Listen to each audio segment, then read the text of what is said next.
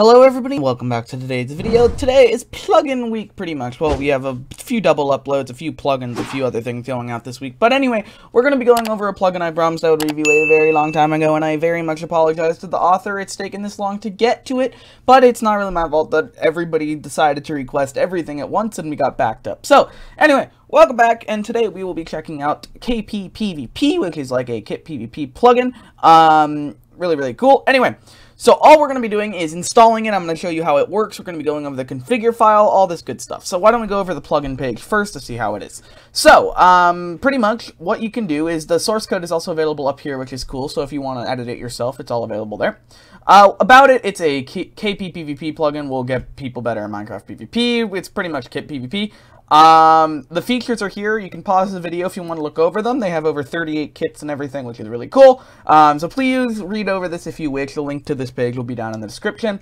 The kits are basic PvP, Archer, Pyro, Tank, Switcher, Jumper, Cactus, Bomber, War, uh, Warper, Wasp, Spider-Man, Airman, Freshman, Stomper, Dash, Fan. Okay, I'm going to be done reading those. But there's a lot of kits which you can use. They uh, all explain what you do here, um, which is really cool. Commands, I will actually go over these. So the kit PvP join joins the arena once you set up the arena. To set up an arena, all you have to do is say uh, kit PvP set spawn, which will set the spawn in the area you're in, which is really cool. Uh, you have coins. You can use the coins give command if you have have the permissions and everything. You got KP edit mode, which lets you do edits to the Kit PvP location. Um, admin mode, enter the admin mode. You can reload, there's stats, there's a shop, all that good stuff.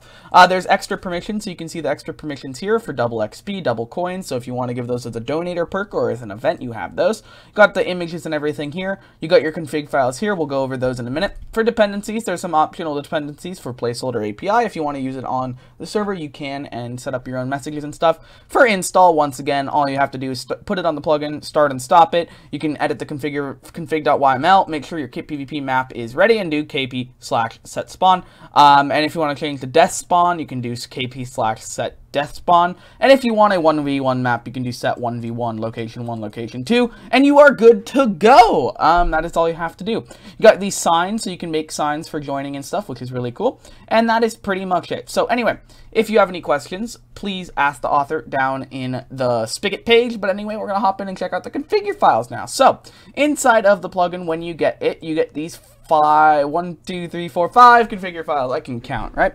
The main one will obviously be your config.yml, which lets you set the uh, prefix if you want uh, Bungee mode, so you can disable Pearl World support. Uh, support. Can't speak today. The permission, the kit messages you get, what join items you should get. Should you have a join sound? What should it be? The Spider-Man kit, the Airman kit. What are the settings for these? Um, the titles for each one of those. Uh, the sounds that you get and use in here when you respawn and stuff. Enable sounds to all commands. You want to disable hunger. Would you like to clear items on the ground? How often should that happen? What you want the death message and kill messages to be? Uh, do you want to send your info? Uh, do you want to block commands? What should be command blocked? Uh, if you want to manually set stats, you can do that in here. You also have the spawn world locations and everything, which are really cool.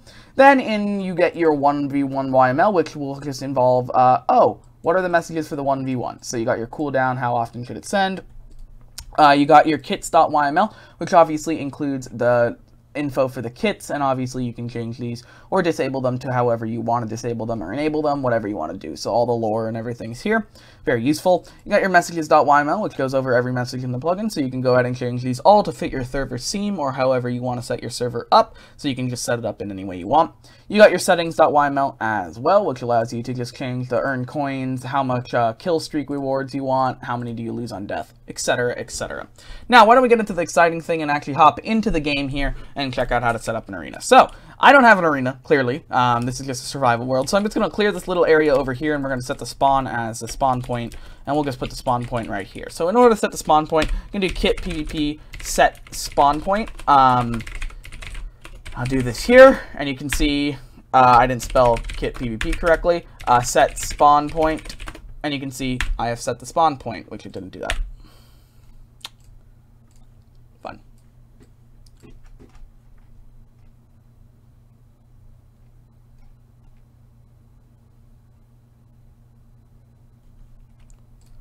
Alright, so clearly I don't have an arena set up or anything, so I'm just going to do this out in the open. Uh, so I just built this little platform here. In order to set the spawn, you can do kit PvP, set spawn. What the hell?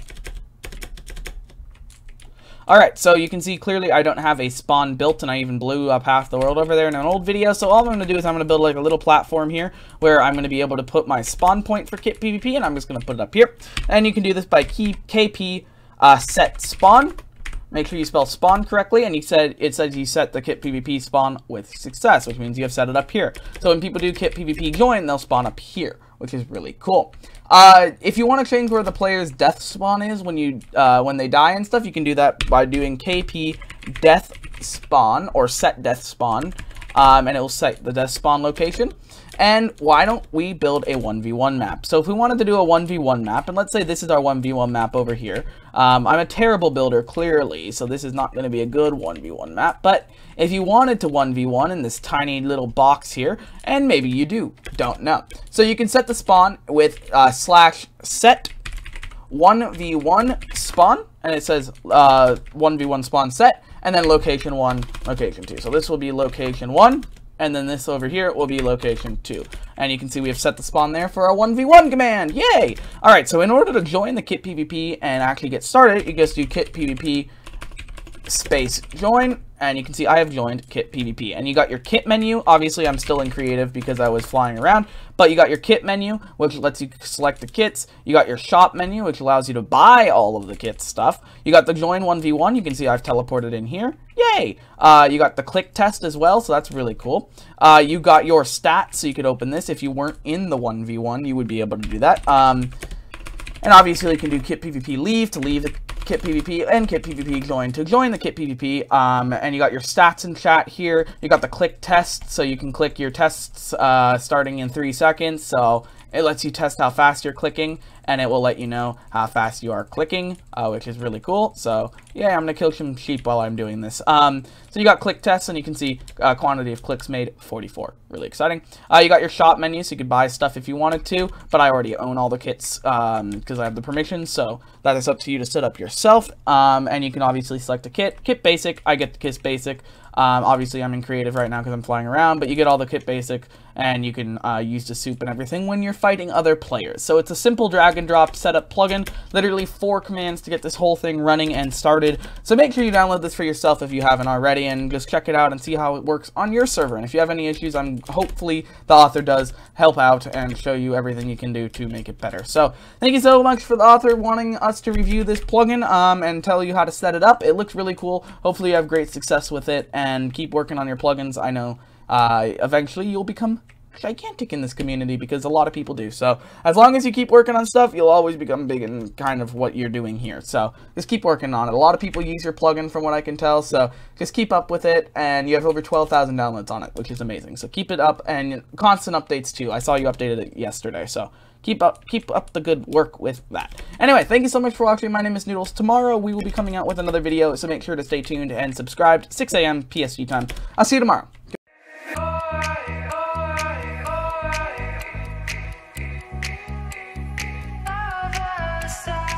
Oh, oh, oh, oh.